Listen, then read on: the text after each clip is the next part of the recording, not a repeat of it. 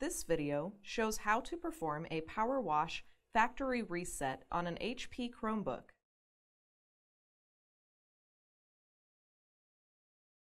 A power wash restores the original factory settings on HP Chromebook. However, it erases all Google accounts, local data, saved files, saved networks, and owner account permissions. Be sure to back up all important files before resetting the device.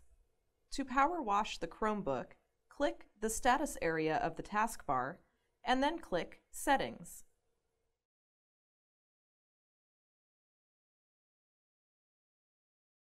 Next, select Show Advanced Settings. In the Power Wash section, click Power Wash. Then click Restart to begin resetting the Chromebook. When the Chromebook restarts, follow the on-screen instructions to complete setup. You can find additional helpful videos at hp.com forward slash support videos and on our YouTube channel, youtube.com forward slash how to for you.